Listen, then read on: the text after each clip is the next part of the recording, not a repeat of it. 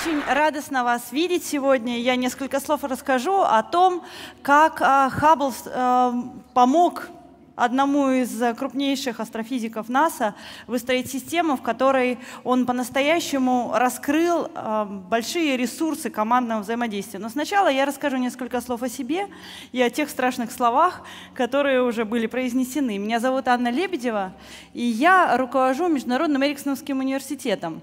Это большой университет во всем мире, и в России он в 18 городах. Когда вы представлялись, называли те города, откуда вы приехали, мне было очень приятно, так как я во многих из них была.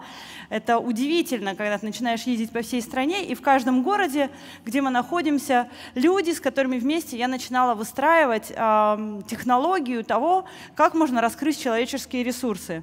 Сегодня беседуя с вами, с людьми, которые пришли на TED, мне очень приятно видеть в зале столько юных лиц, потому что это одна из моих мечт, чтобы то, что делаю я, коучинг как технология задавания эффективных вопросов, расширяющие э, любые возможности человеческого мозга, они проникли к людям, которые только начинают выстраивать свою карьеру и выбирают, кем они хотели бы быть. Потому что каждый из нас хотел бы по-настоящему здорово и ясно себе ответить на вопрос, кем я хочу быть, какова моя мечта, как я пойму, что я достигаю результатов, как я начинаю жизнь такой жизнью, которой я хочу по-настоящему гордиться. Все вот эти вопросы, это вопросы, которые я обычно задаю людям, а, с которыми работаю. С самого детства я всю жизнь работала с людьми.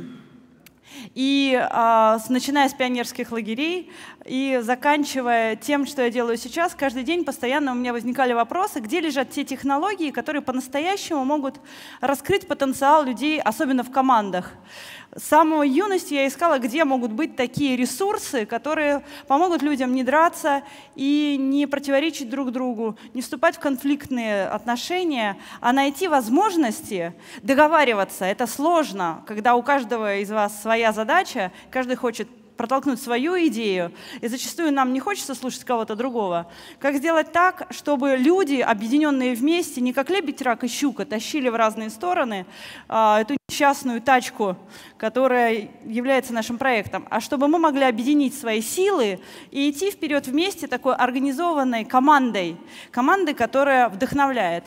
У каждого из вас, как, наверное, у меня был в жизни опыт – такого яркого командного взаимодействия, когда кто-то с тобой рядом вместе что-то делает такое, чем потом мы вместе можем очень сильно долго гордиться. Ну, для меня это моя компания, Эриксоновский университет, потому что, когда я начала работать, я долго-долго искала технологии. И однажды возник такой удивительный день в моей жизни. Я заканчивала бизнес-школу. А каждый человек, который занимается хорошим таким серьезным образованием, в какой-то момент понимает, как же так, завтра у меня нету плана по обучению, нет никакого экзамена, который мне надо сдавать. Ты идешь, и ты свободен, и ты больше не знаешь, что же тебе делать в жизни. Последний модуль моей программы вел очень счастливый такой волшебный дяденька. Я у него спросила, скажите, пожалуйста, а что с вами не так? Почему вы все время улыбаетесь? Что у вас в глазах такое? Как вы так вот общаетесь с людьми, что они с вами очень нормально коммуницируют? Он говорит, я коуч. Я говорю, что это такое? Объясните, пожалуйста, у нас такого слова не слышал никто. Ну, Понимаешь, это как бы вопросы надо задавать, людей слушать, команды объединять. Я говорю, да, надо же, у нас в России вообще такого нет. А есть вообще где-нибудь учиться? Нет, говорит, придумывай сама, потом найдешь. И потом действительно я нашла для себя это место, где а, вместе со своим научным руководителем мы стали а, выстраивать систему, которой можно вместе объединить людей на основе очень простых и базовых принципов. Принципов того, что мы можем вместе, принципов того, что у всех есть ресурсы. Три головы лучше, чем одна. Если если хорошенько подумать, потом это можно сделать. И та тема, которая у нас будет сегодня, она касается именно НАСА и того, как на основе вот этой удивительной такой проектной работы э, над телескопом Хаббл один из, из великих сотрудников НАСА смог разработать систему выстраивания команд – это удивительная тема, удивительная тем, что первый телескоп, который был создан на космической орбите, 2,5 метра, он был эм, с помощью шаттла Discovery выведен на орбиту в 90-м году. Его строительство сопровождалось невероятными сложностями командной работы. Это просто удивительно, когда начинаешь читать историю того, как НАСА и все подрядчики, с которыми они работали вместе, договаривались. Просто это поражает теми конфликтами, которые рождались на пустом месте. Как это возможно, что очень взрослые, очень образованные, технически подкованные люди не могут сесть за стол переговоров и просто договориться, кому что нужно. НАСА все время говорила о том, что их подрядчики затягивают сроки, что им неинтересно, что так как они уже заключили контракт, поэтому теперь они переключаются на другие задачи и не хотят вкладываться вот в этот очень важный проект выстраивания такого волшебного телескопа, который будет в 10 раз лучше снимать, чем любой планетарный телескоп так как космический телескоп может снимать и ультра, и инфракрасные волны, то есть он может идти в очень глубокий дальний космос, снимать то, что с Земли снять просто было невозможно в те времена. Но подрядчики постоянно оттягивали сроки. Ежеквартально увеличивали срок сдачи на месяц. Ежедневно под конец срока э, выпуска телескопа уже на космическую орбиту они э, затягивали сроки на каждый день на день. И это было поразительно бюджет программы увеличился в три раза. Начали они работать в 1978 году. А, телескоп, вот этот большой красивый, а, вот это зеркало удивительное, которое никто в мире не мог до этого сделать, а, его полировали очень долго, его полировали почти три года. И каждый день увеличивался бюджет проекта. И деньги, которые выделили Европейское космическое агентство и НАСА, они увеличивались с каждым днем. Простой, простой, простой. Срывы, огромные конфликты, обвинения. НАСА стали очень жестко подходить к своим субподрядчикам и всех их обвинять во всех смертных грехах. С другой стороны, субподрядчики очень сильно обиделись и перестали пускать сотрудников НАСА на свои заводы, потому что это были секретные военные заводы, это был не мирный космос, как сами, сами насовцы. И они просто закрыли для них доступ и не давали им возможности войти. Простые коммуникационные проблемы, то, что очень важно, команды, вот этого там просто не было. И все те, кто там находились, даже не могли заметить, что то, что они делали, это было ненормально, это нехорошие отношения. Такие отношения нельзя выстраивать с людьми.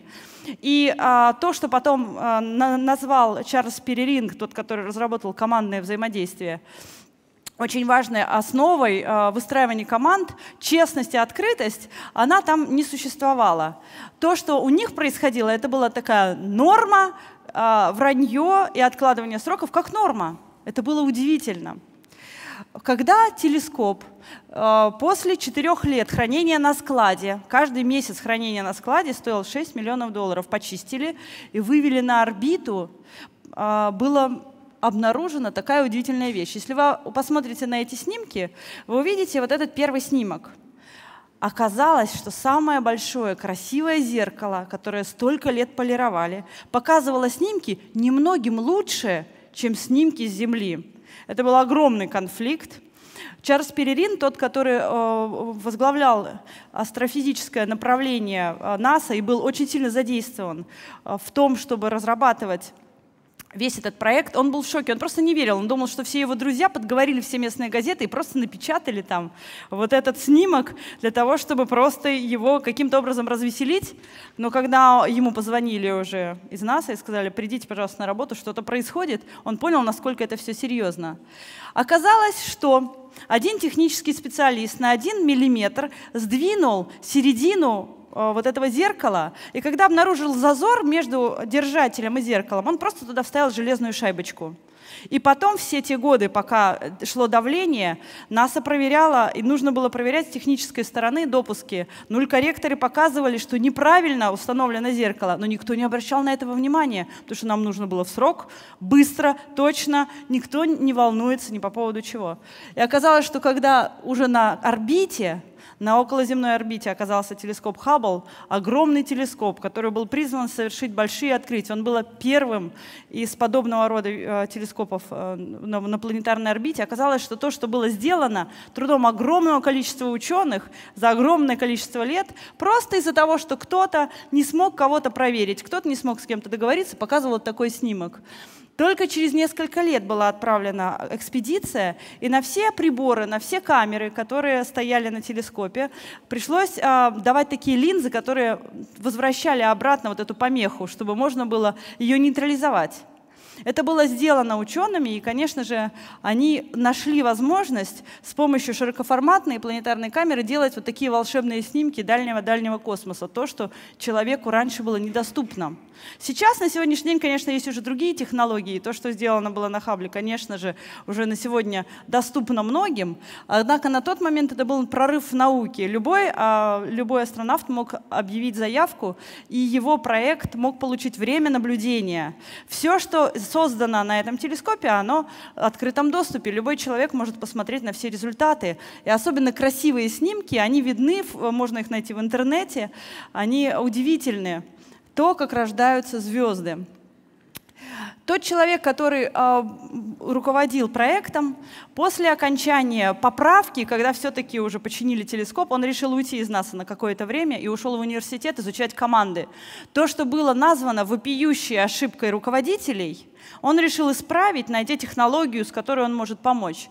Мы сегодня присутствуем при таком достаточно трепетном для меня моменте, потому что мы недавно совсем начали с ним работать. И это, по сути, первое выступление, которым я рассказываю о том, какова технология выстраивания команд. Когда он обнаружил, а, что по-настоящему важно именно то, как работают люди вместе, он стал искать систему координат. А как померить, так как он был э, физиком, он был техническим человеком, не то что мы психологи, задающие вопросы. Он решил померить, как можно померить технические параметры общения людей для того, чтобы можно было создать ясность, четкие показатели, к которым можно стремиться.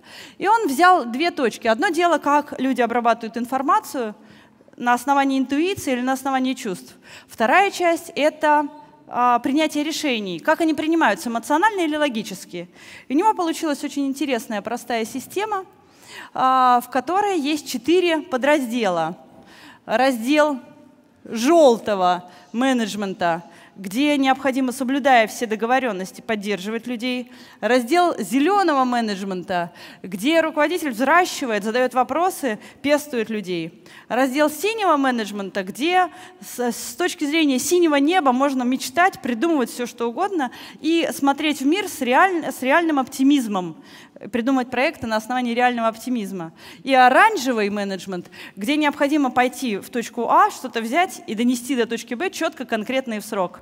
Он разработал показатели, которые помогли ему а, опредметить и посчитать все вот эти четыре области. И с тех пор, начиная с того центра Маршалла, который занимался исследованием Хаббл, а, Чарльз Перерин уже в течение 8 лет разрабатывает и прорабатывает насовские команды, и они достигли удивительных результатов. Если в начале пути почти все команды по всем показателям, которые он выбрал, показывали ужасающие результаты, то на сегодняшний день многие из команд уже находятся на верхушке развития по шкале от 1 до 10, они уже на 8, на 9, они договариваются, они любят своих подрядчиков, и про них подрядчики говорят, да, с ними можно работать, у них можно брать заказы. Люди — это важно. Любую прекрасную прекрасную техническую машину два-три человека всегда могут разобрать, вынуть какую-нибудь гаечку или наоборот ставить ее. Люди, важ... Люди важнее, чем машины. Это раз. А второе, TED — это важно.